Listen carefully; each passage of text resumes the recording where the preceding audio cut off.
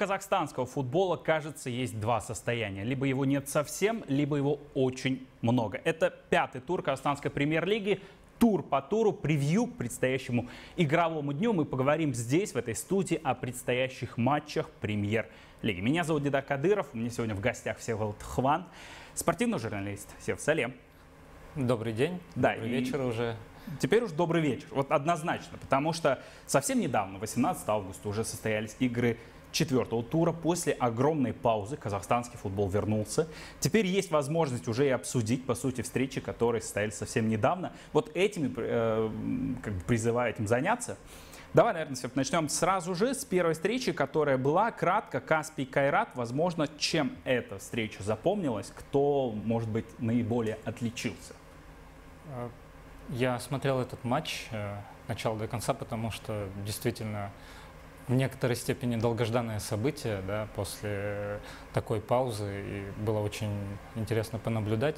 Но по игре я скажу, собственно, Кайрат владел инициативой, игровым Что, преимуществом. наверное, и предсказывал. Да, да, это было ожидаемо, и они очень быстро забили быстрый гол и, в общем-то, контролировали игру. И, по сути, наверное, у Каспия, который уже, ну, можно говорить об этом прямо, один из главных претендентов на вылет из премьер-лиги, ну, шансов было мало, да, что-то противопоставить. Если кратко, кто еще, помимо Каспия, претендент на вылет? Ну, если смотреть турнирную таблицу, конечно, пока это Окжетпес, второй претендент. Э, Каспий и Окжетпес – это на данный момент две команды, которые еще не выиграли и даже очков не набрали в чемпионате. Поэтому пока такой расклад. Ну, как к Укжитпесу еще вернемся. Давай быстренько пробежимся уже по моментам. Уже Нурали Алип успел отличиться в нашем обзоре, э, который параллельным, скажем так, курсом следует. И э, вот главным действующим лицом вообще этого противостояния можно назвать именно Нурала? Да, да, конечно. И он, наверное, был одним из самых запоминающихся игроков на поле. При том, что, ну, скажем так, пауза сказалась, да. Матч был э, поначалу команды видно, что есть какое-то отсутствие игрового тонуса, да, что команды втягиваются. Но это ведь относится И- ко всем абсолютно коллективам. Да, То есть это конечно. общая черта, Конечно. ясно, после огромной Конечно, паузы. да. Но если по персоналиям, помимо А- Алипа, я бы, наверное, отметил а, Гульжагита Алыкулова, да, то есть, ну, такой маленький, юркий полузащитник, и очень много обострял, у него даже было несколько моментов хороших, и он пытался и трех-четырех соперников обводить, не всегда успешно, но, э, но, но это запомнилось. Ну, после прихода из белорусского чемпионата этого и ждали, наверное, от него. Мы не станем предаваться какому-то глубокому анализу каждого из эпизодов, скорее скажем так. Кайрат э, перед, э, точнее, после предыдущей паузы в июле был одной из команд, которая сумела произвести впечатление своей физической формой. Вот здесь и после этого тура это и остается. То есть Кайрат пока это команда, которая, скажем так, э, в лучшем физическом состоянии пока находится. Так или нет? Э, Я думаю, да.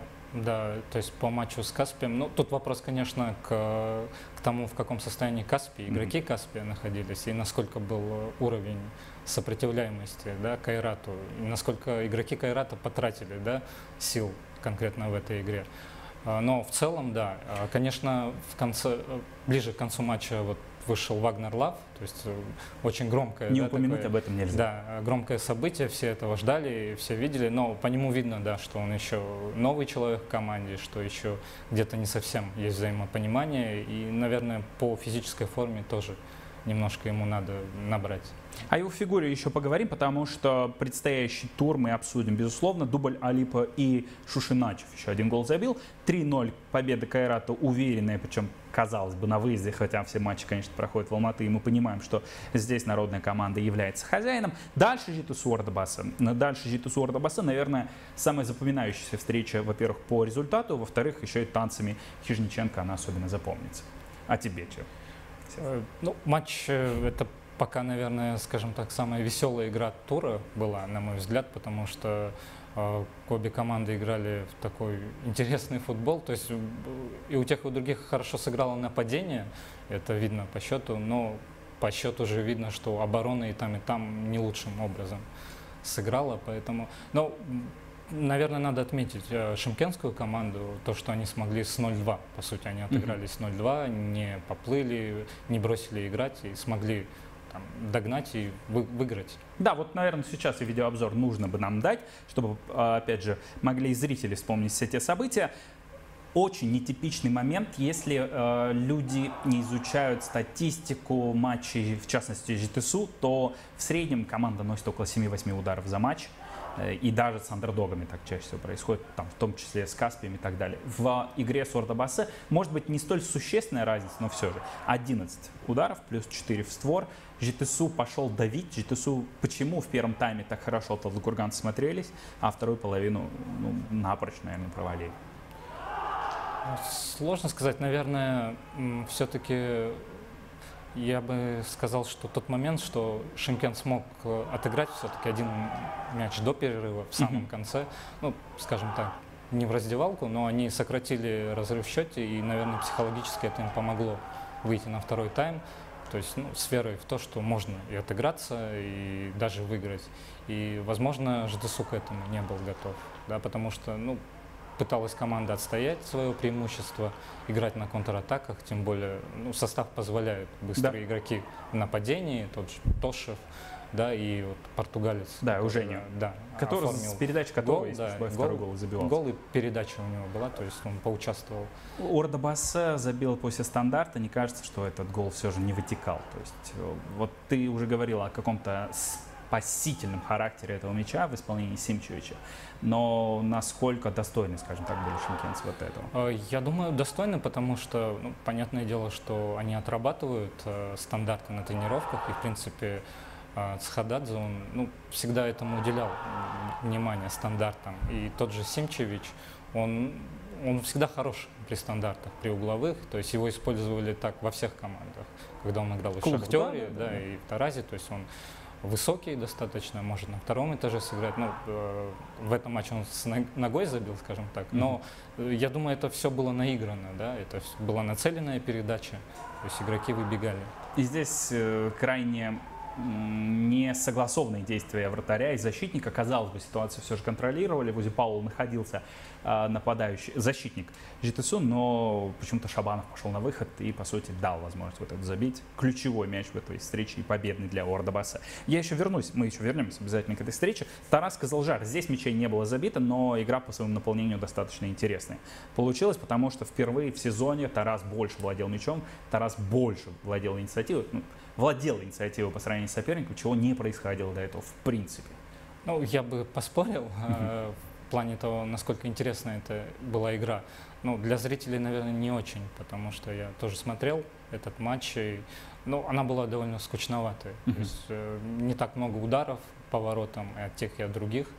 То есть э, команды не рисковали, обе играли от обороны. И, ну, возможно, в конце чуть ближе, наверное, Тарас был Э, к победе, у них пошли удары, э, у них э, для данной ситуации, мне кажется, неплохо смотрелся Турызбек, который пришел в команду и пытался mm-hmm. что-то сделать, но не получилось, да, и я, в принципе, я думаю, и те, и другие довольны остались. И ну, такое результатом. вечернее время этой встречи да, проходило, да. тоже вот а, мы уже видим а, самые главные моменты этой встречи, так называемые хайлайты, и те же подачи Амирхана в штрафную площадь, отсутствие а, Цатла, этого австрийского нападающего, который по первым турам все же смотрелся одним из лидеров Таразы, что удивительно, наверное, все-таки приезжают легионеры из Европы и сразу же э, становятся одним из лидеров. Приход Турсбека, Сержа Ньюадзе может ли компенсировать уход австрийца и вообще насколько быстро эти ребята должны влиться в коллектив? Да, я думаю, компенсирует уход этих двух нападающих, потому что, ну, если говорить по Ньюадзе, он, он уже играл да, в Таразе. Mm-hmm. Он играл в прошлом сезоне, забивал много, и, в принципе, э, костяк той команды он остался в Таразе по большей части. Я думаю, проблем взаимопонимания в игровом плане у него не должно возникнуть. И Турсбек, э, ну, мне понравился по этой встрече, то есть было видно, что у него нет такого сильного недопонимания. Видимо, он успел уже потренироваться как-то. Ну, кого-то из ребят где-то раньше играли, да, может, в сборной пересекались. Ну, в Поэтому принципе, наверное... Проблем таких нет. Я думаю, они должны должны э, помочь команде. Схожая формация, которая используется в «Шахтере», где он примерно в той же роли Да. выступал, где пять защитников, а он один, ну, скажем так, на острие выступает, это для него понятно и знакомо. А вот теперь бывшая команда Баужана, «Шахтер», в, на следующий уже день э, принимала, скажем так, э, Кайсар и матч, который завершился победой Кызылординской команды. Что здесь, что особое отметим а, в этом противостоянии? Ну, матч, в принципе, ожидался интересным. И интересным в плане того, что после вот паузы, которая была, по сути, можно сказать, что у нас в чемпионате два межсезонья было, да, как бы обычное зимой и то, которое вот связано с пандемией, потому что, ну, по сути, это тоже межсезонье. Некоторые игроки успели во второй раз уже поменять свои команды, кто-то поменял тренера, как в «Шахтере» в итоге получилось. И ну, с этой точки зрения было интересно посмотреть. Но не так много. Вот э, мы видим, в принципе, обзоры, мы видим а, главные действующие лица. Михаил Бакаев, в принципе, что касается и Шахтера, и Кайсара, остались э, при своих, скажем так. Ну, разве что э, Станиславлевича пригласил Кайсар. Плюс у Шахтера есть тоже усиление э, того же центрбека, пригласили они российского. Плюс э, ну, уход э, Божан Трусбека. Э, и в принципе, в этой встрече. Э, Шахтер говорилось изначально. Несколько моментов, там и тот же Еркин Топалов попал в перекладину, были и промахи с э, какого-то минимального расстояния, там говорят о какой-то футбольной карме, но все же Шахтер был ближе к чему-то, к другому результату, более для себя приятному. Ну, да, да. По сути, наверное, игра была равная, и, наверное, более справедливо был бы ничейный результат этом матче, но где-то Кайсар, может, даже поопытнее оказался именно в таких вот тяжелых матчах, когда идет вязкая борьба, сложная. И, наверное, не соглашусь, что им повезло в какой-то степени. В принципе, они тоже играли на положительный результат для себя и смогли его добыть, что, что тоже говорит о, каком-то характере команды, потому что когда шло межсезонье, тоже много всяких разговоров а, ходило, много всяких событий было в стане того же Кайсара, да, и понятно, что к ним особое внимание, команда впервые сыграет в Еврокубках, и опять же все эти моменты, связанные с пандемией, они повлияли, да, кто-то не долетел, кто-то не прилетел, кто-то какой форме непонятно было. Но, тем не менее, Кайсар в этом матче показал, что как бы все в порядке, есть положительные моменты. Есть какой-то запал. Да, Минусы у конечно. Гуджа Лабжанидзе, но все равно а, главный а, Да. бомбардир и вообще главное, наверное, действующее лицо во всем первенстве, потому что два гола у него, матч пусть с Иртышом был аннулирован, результат этой встречи, но все же у него был победный гол и тогда, и победный гол с Окжитпесом, но и здесь, наверное, от Кайсара мало что можно было ждать, учитывая отсутствие главного э, бомбардира, и гол Александр Марчикин только принес результат. И еще одна встреча, она э, вне контекста всего тура складывается для нас. Проходила она, разумеется, в рамках Лиги Чемпионов. Это Астана Динамо. И все, да? что, что Да. можно сказать здесь? Э, Сказать особо нечего. Есть ли что-то позитивное, что можно было как-то подчеркнуть из результата этой игры? 3-6 счет.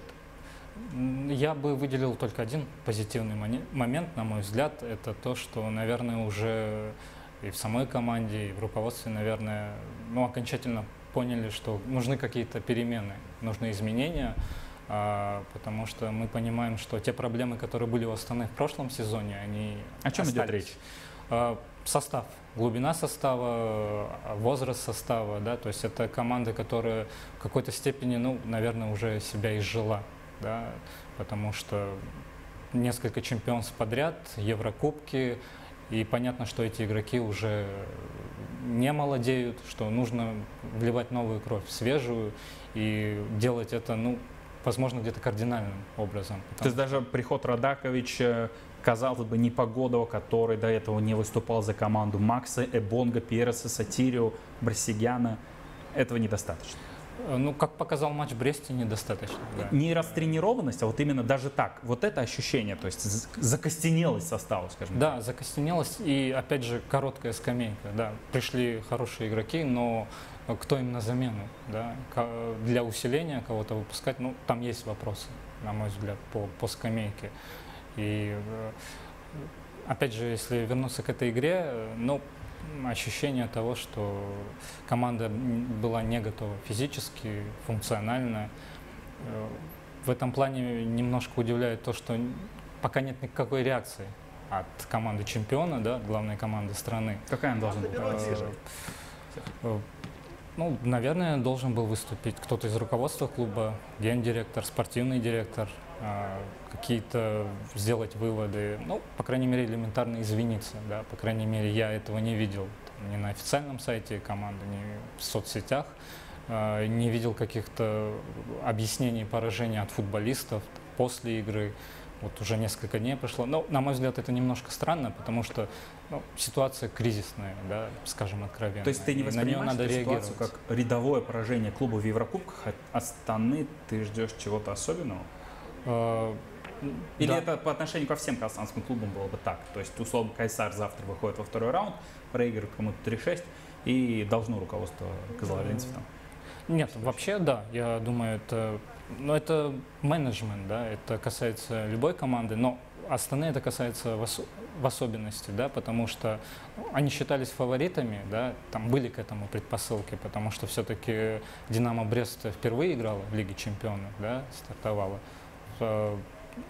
Больше опыта у Астаны, еще какие-то моменты, но как мы видим, что на бумаге одно, а на поле получилось совершенно по-другому. Это популярно э, говорить именно так, тезисно. Да. Если сказать, э, назвать какие-то основные проблемы Астаны, э, растренированность А, Б, э, скажем так, э, все, изжил, наверное, свой срок, скажем так, состав команды во, во многих абсолютно отношениях. Короткая скамейка, что-то еще? Э, ну, да, это те проблемы, о которых, опять же, неоднократно мы говорили, эксперты говорили, в том числе и в этой студии еще прошлой осенью, инфраструктура, да, молодежь какая-то. Ну, это все, э, все систематически, все взаимосвязано, поэтому ну, можно долго об этом говорить и очень глубоко заходить, но в целом, я думаю, и футбольное сообщество, и болельщики эти проблемы знают и поднимают постоянно. Тут вопрос, какие будут выводы сделаны. А мне кажется, ну, после поражения в Бресте выводы нужно делать и шаги предпринимать. Многие, знаешь, голову пеплом посыпают и говорят, это отражение состояния всего казахстанского футбола. Э, это самое поражение в Бресте. Насколько это, по-твоему, соответствует действительности? Э, состояние футбола в какой степени? В Казахстане это, клубного футбола, скорее. Э, нет, это все индивидуально. Это, ну, у каждой команды своя история, свой путь, да, опять же, все знают Кайрат, это как раз-таки академия, инфраструктура, да, человек, который болеет за команду. Да. Остальные команды где-то Акимат, где-то еще кто-то поддерживает. Это, наверное, так нельзя говорить, что это общее состояние. У каждого своя история, какие-то свои вещи. Это индивидуально. Отталкиваясь от этого и пойдем к встречам уже тура Э, предстоящего, да, совсем скоро начнется встреча между Ордобасой и Каспием, о ней поговорим чуть позже, потому что составы наконец-то опубликованы. А вот противостояние Кайрата и Татавола, это, я думаю, ты согласишься, безусловно, встреча центральная. А, кто здесь, возможно, фаворит, кто, возможно, ближе все же к победе? На мой взгляд, э, равные соперники, равные, и я бы ну, не удивлюсь, если будет ничейный результат вполне вероятен. Но, возможно, небольшое преимущество все-таки будет у Кайрата. И только, наверное, потому, что они все-таки провели уже матч несколько дней назад, почувствовали какой-то тонус игровой, а у Табола с этим проблема, да, то есть, ну, практически они играли два месяца назад последнюю официальную игру, игру чемпионата, и не, не совсем ясно, в каком сейчас состоянии команды находится, потому что, ну, мы понимаем, тренировки, контрольные игры – это одно, а как бы уже официальный матч – это немножко другое. Вот. И, и опять же, фактор своего поля. Ну, небольшой фаворит, наверное, Кайрат. Нет, какие-то тактических нюансах или о составах тоже стоит упомянуть, потому что здесь очень интересная картина в нападении, в частности, есть Аймбетов и Шушиначев, которые как бы задвинули, ну, достаточно гробко об этом можно сказать, но все же, Сиолы и Вагнелов остаются в резерве. Этих ребят, точнее, украинцы и бразильцы стоит ли ждать в ближайшее время в старте, возможно, в предстоящую даже встречу. А, ну, мне кажется, скорее всего, вероятно, Алексей Шпилевский предпочтет тот вариант победный, э, тот состав, который с Каспием выходил. Ну, наверное, это было То бы есть логично. тот же Алыкулов, да. Косович, да. Гуральский и так да. далее. Ну, возможно, будут изменения. Все-таки Вагнер Лав, э, мы уже говорили, наверное, не готов пока со старта выходить. Ну, да. ну, на последние 10-15 минут и постепенно увеличивать время, да, думаю, да. А Шушаначев, ну, он тем более не первый раз показывает, да, такие способности суперзапасного, да, когда он выходит и забивает замены. Я думаю, это тоже такое хорошее оружие тактическое. Ну, такой супер динамичный футбол да. а, в исполнении команды Алексея Шпилевского. И в оппозиции, казалось бы, оказывается команда, которая очень хорошо действует в обороне. И, в частности, Григорий Бабаян, скажем так, ученик Стоилова, что он сам признает. А, вот э, какая картина встречи вырисовывается, может быть, потому что ну, чуть ли не антагонистами можно их, наверное, назвать. Я думаю, Кайрат будет владеть э, игровым преимуществом, то есть э, будет идти вперед. А, Табол наверняка будет какие-то шансы в контратаках ловить. Потому Помнишь что... первую встречу вот первого тура, когда Тарас э, на последних минутах упустил там ничью, они за это бились, и там у них были еще и другие моменты. Вот это не может повториться. Кайрат будет опять в высокой линии, идти вперед, оборона располагается там буквально у средней линии, идут забросы, и там вперед убегает у кустанайцев там, а... Э, нападающий. Ну, я, я думаю, нет, потому что это была все-таки встреча первых туров, первого mm-hmm. тура, и наверняка тренерский штаб Кайрата сделал выводы э, с того матча, где, ну, где я согласен, что Тарас был близок к тому, чтобы и не проиграть mm-hmm. вот, по, по той игре. И... Астана Укжитпес, я здесь предлагаю говорить даже не об Астане, потому что времени у нас совсем немного осталось, а скорее об Укжитпесе. Мы не видели их в деле. Что ты э, ждешь, возможно, в исполнении кукшетауцев, учитывая, что они все-таки усилили состав и наконец-таки пригласили исполнителей в оборонительную линию?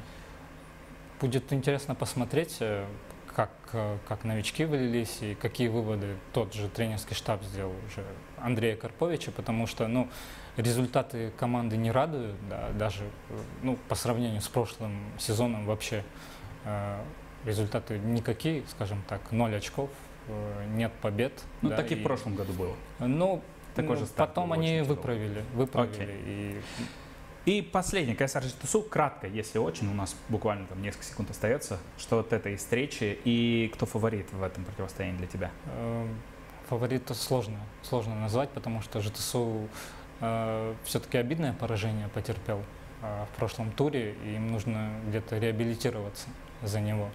А Кайсар же показал, что по-прежнему очень хорошо организован, угу.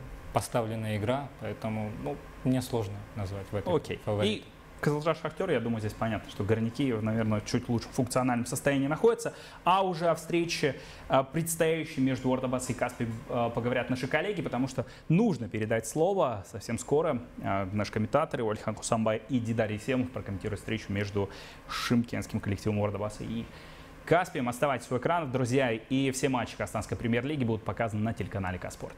До скорых встреч.